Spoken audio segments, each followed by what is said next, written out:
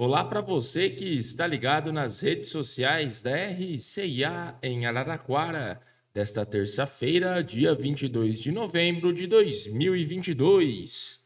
Copa do Mundo do Catar. Em jogo cheio de gols, a Inglaterra começou com uma estrondosa goleada para cima do Irã por 6 a 2 na abertura do grupo B da competição. Pelo grupo A, a Holanda conseguiu vencer o Senegal nos minutos finais, batendo por 2 a 0. Também pelo grupo B, os Estados Unidos ficou na frente, mas País de Gales conseguiu empate, ficando no 1 a 1. Nesta quarta-feira, os jogos continuam com as aberturas do grupo E e F. Logo às 7 horas da manhã, Marrocos e Croácia fazem um confronto pelo grupo F. Às 10 horas, é a vez da tetracampeã Alemanha encarar o Japão.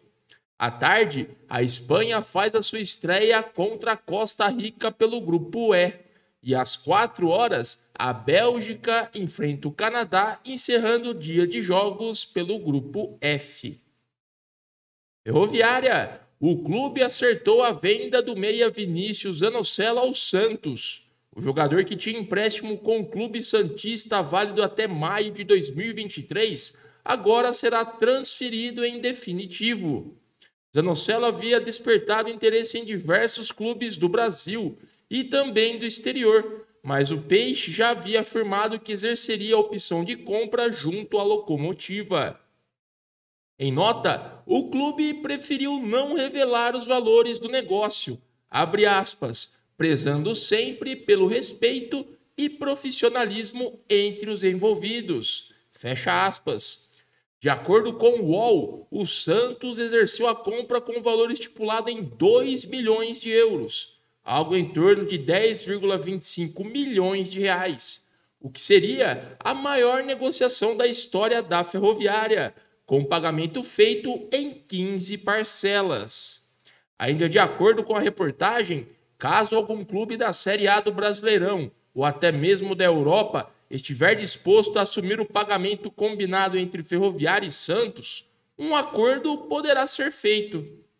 Vinícius Anocelo chegou da Ponte Preta Ferroviária para a disputa do Paulistão de 2021. O bom futebol apresentado pelo jovem de 21 anos chamou a atenção de diversos clubes, mas acabou sendo emprestado ao Santos. Pela locomotiva, foram 12 jogos disputados e um gol marcado. Categorias de base. A Ferroviária saiu atrás na decisão do Paulista Feminino Sub-17. Na noite desta segunda-feira, a equipe foi superada pelo São Paulo pelo placar de 3 a 2, em partida disputada na Fonte Luminosa pelo jogo de ida da grande final.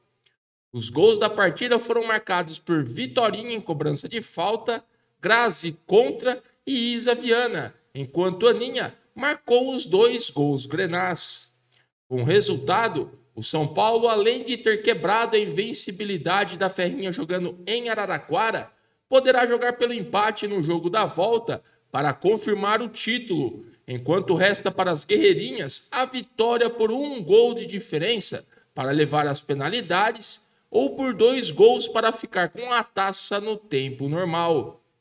As equipes voltam a se enfrentar no próximo domingo, dia 27, às 3 horas da tarde, no estádio Bruno José Daniel, em Santo André. Ficamos por aqui e não deixe de acessar o nosso portal rciararaquara.com.br e as nossas redes sociais para outras novidades. Até a próxima!